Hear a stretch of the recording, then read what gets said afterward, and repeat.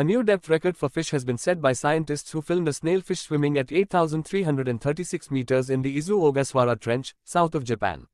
The species was filmed by an autonomous lander, and it was attracted to bait.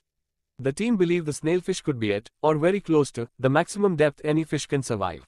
The snailfish are able to adapt to extreme pressure conditions due to their gelatinous bodies and their feeding habits. Snailfish are mostly shallow water creatures, but some have adapted to the cold waters of the Arctic and Antarctic, and also deep trenches. Thank you for watching Tiger News Report.